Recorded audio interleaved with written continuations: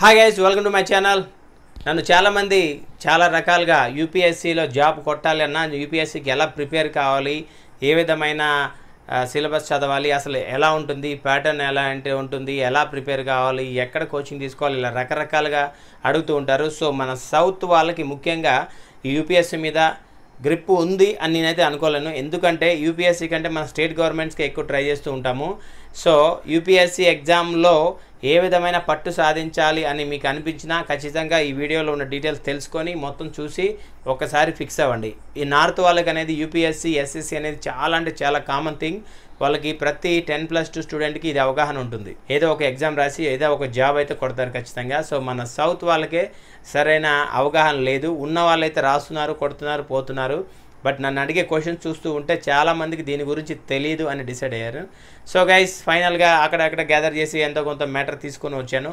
So ఈ details అన్ని మీకు ఖచ్చితంగా యూజ్ అవుతాయి అని చెప్తున్నాను. Let's start the video so guys యూపీఎస్సీలో బిగినర్స్కి ఎగ్జామ్ ప్యాటర్న్ ఎలా ఉంటుంది అండ్ సిలబస్ ఎలా ఉంటుంది అనే విషయాల గురించి ఇప్పుడు మీకు చెప్తాను. యూపీఎస్సీ అనేది ఏంటంటే సెంట్రల్ గవర్నమెంట్ రిక్రూట్మెంట్ ఏజెన్సీ దీంట్లో ఎనీ గ్రాడ్యుయేట్ అప్లై చేయొచ్చు. మనకి పర్సంటేజ్ అనేది ఏమీ లేదు. అండ్ ఏజ్ లిమిట్ వచ్చేసి ట్వంటీ వన్ ఇయర్స్ మినిమం ఉండాలి. జనరల్ కేటగిరీ వాళ్ళు మ్యాక్సిమం ఏజ్ లిమిట్ వచ్చేసి థర్టీ టూ ఇయర్స్ ఉంటుంది. వీళ్ళు సిక్స్ టైమ్స్ యూపీఎస్సీ ఎగ్జామ్కి అటెంప్ట్ అవ్వచ్చు.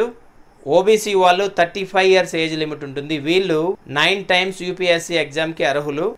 ఇక ఎస్సీ ఎస్టీ వాళ్ళు థర్టీ సెవెన్ ఇయర్స్ వరకు ఏజ్ లిమిట్ ఉంటుంది. వీళ్ళకి ఎన్ని టైమ్స్ అటెంప్ట్ చేసినా కానీ నో ప్రాబ్లం అంటే వీళ్ళకి అటెంప్ట్ లిమిట్ అనేది ఏమీ లేదు.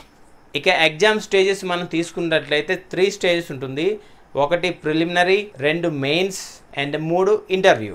ఈ ప్రిలిమినరీ తీసుకున్నట్లయితే మీకు ఇందులో కూడా మీకు టూ పేపర్స్ అనేవి ఉంటాయి. పేపర్ వన్ వచ్చేసి జనరల్ స్టడీస్ హండ్రెడ్ క్వశ్చన్స్ ఉంటాయి టూ హండ్రెడ్ మార్క్స్కి ఇది టూ అవర్స్ టైం ఉంటుంది. పేపర్ టూ వచ్చేసి మీకు సిసాట్ అంటారు ఇది just qualifying examination. Thirty three point three percentage మీకు ఇందులో మినిమం స్కోర్ చేయాల్సి ఉంటుంది. క్వశ్చన్స్ ఉంటాయి. Two hundred marks two two hours time ఉంటుంది. బట్ ఇందులో వచ్చిన మీకు మార్క్స్ క్వాలిఫైయింగ్ పర్పసే దీన్ని మెరిట్ లిస్ట్లో మాత్రం దీన్ని ఇంక్లూడ్ చేయరు. సెకండ్ వచ్చేసి మెయిన్స్ ఎగ్జామినేషన్ ఇందులో నైన్ పేపర్స్ ఉంటాయి రిటర్న్ ఎగ్జామ్ ఉంటుంది సెవెన్ పేపర్స్ మెరిట్ బేస్డ్ ఉంటాయి.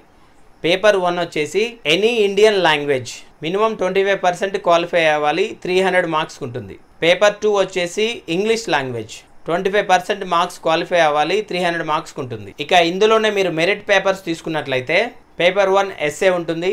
పేపర్ టూ వచ్చేసి జనరల్ స్టడీస్ వన్ ఇందులో Indian heritage culture and history geography of the world and society ఇందులో టూ ఫిఫ్టీ మార్క్స్ ఉంటాయి. పేపర్ త్రీలో general studies two governance constitution polity social justice and IR two fifty marks ఉంటుంది IR అంటే international relation paper four ఇందులో general studies three economic development biodiversity security and disaster management DM అంటారు.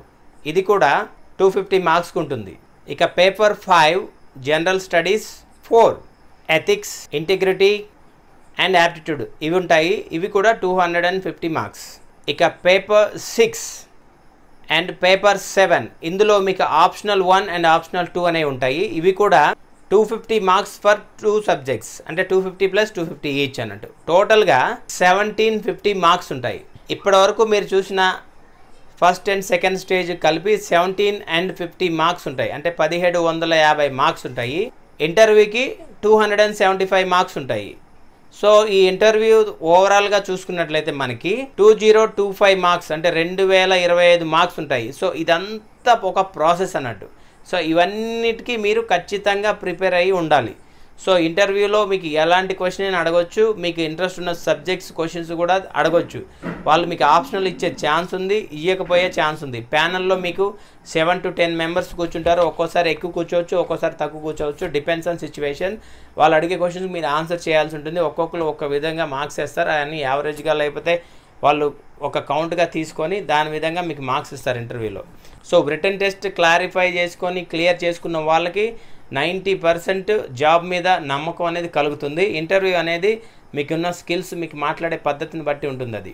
Right guys so ఈ interviews కంటే written test మీద ఎక్కువ concentrate చేయండి. So return టెస్ట్లో ఎలాంటి క్వశ్చన్స్ ఏమి రాయాలి మీరు అప్లై చేసుకున్న సబ్జెక్టు మీరు అప్లై చేసిన పోస్టు మీకు ఉన్న మార్క్స్ ఉంటాయి లేకపోతే మీరు ఏ సబ్జెక్ట్లో ఉన్నారు అండ్ ఎన్ని పోస్టులు ఉన్నాయి అనేది తెలుసుకొని అప్లై చేయండి. దానికి ప్రిపేర్ అవుతూ ఉండండి. It's not a single one attempt job ఖచ్చితంగా మీరు కొన్ని అటెంప్ట్స్ అయితే చేయాల్సి ఉంటుంది. సింగిల్గా వస్తే యువర్ సో గ్రేట్ అన్నట్టు. But either you're lucky or you're so knowledge fellow అన్నట్టు. సో గైస్ ఇది యూపీఎస్సీ ప్యాటర్న్ అనేది. ఖచ్చితంగా ఈ విషయాల గురించి మీరు తెలుసుకోండి. యూట్యూబ్లో చాలా వీడియోలు ఉన్నాయి. డిస్క్రిప్షన్లో చాలా ఉంటాయి. అంటే గూగుల్ డిస్క్రిప్షన్లో చాలా ఉంటాయి. అండ్ ఓల్డ్ పేపర్స్ లేదంటే ఓల్డ్ న్యూస్ లేదంటే ఎవరన్నా యూపీఎస్సీ ద్వారా కొట్టిన జాబ్స్ ఉన్న వాళ్ళు ఉంటే వాళ్ళ ద్వారా తెలుసుకోండి. వాళ్ళ ఎలా ప్రిపేర్ అయ్యావో తెలుసుకోండి. ఆ విధంగా మీరు కొట్టండి. నా ప్రాసెస్ అంతా పెద్దగా అనిపించవచ్చు. బట్ ఇదేంటంటే ఏది చేసినా మీరు చదివింది వస్తుంది. వేరేదైతే రాదు. కాబట్టి సబ్జెక్ట్ తెలుసుకొని చదివి వీటికి ప్రిపేర్ అయ్యి ఈజీగా జాబ్ కొట్టచ్చు. నార్త్ ఇండియన్స్కి అనేది చాలా ఈజీగా జాబులు కొడతారు యూపీఎస్సీ ద్వారా. మనం కూడా ఎందుకు కొట్టలేం? మనకి అవగాహన లేదు అంతే. సో మొదటి నుంచే మీరు డిగ్రీ చదువుతున్నప్పటి నుంచే యూపీఎస్సీ మీద ఒక గ్రిప్ తెచ్చుకొని స్టార్టింగ్ నుంచే కొన్నిటి మీద నాలెడ్జ్ తెలుసుకుంటూ వస్తూ ఉంటే మీకు ఖచ్చితంగా ఒక గ్రిప్ అనేది వచ్చేస్తుంది. సో పేపర్ రీడింగ్ అనేది చాలా ఇంపార్టెంట్ న్యూస్ చూడడం అనేది కూడా చాలా ఇంపార్టెంట్ సో అందులోంచి కూడా చాలా నాలెడ్జ్ అనేది మీకు వస్తుంది. రైట్ గైస్ నా వీడియో మీకు నచ్చినట్లయితే లైక్ చేయండి షేర్ చేయండి కామెంట్ చేయండి. పక్కనే ఉన్న బెల్ కొట్టండి. ఫర్దర్ నోటిఫికేషన్స్ అన్ని ఇమీడియట్లీ వస్తాయి. మళ్ళీ ఒక మంచి వీడియోతో కలుద్దాం. అప్పటి వరకు బాయ్ బాయ్ గైస్